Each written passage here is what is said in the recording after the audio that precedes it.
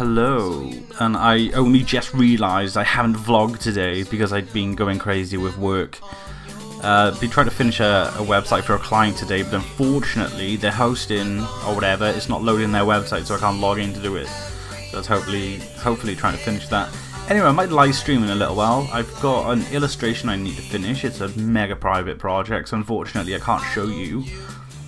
But uh, yeah, that's it. I, I've just been sat here working all day. No gym, but I'm going to do a big session tomorrow.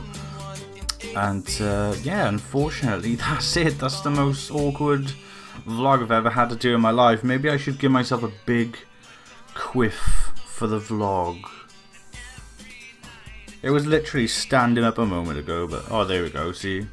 The quiff of life.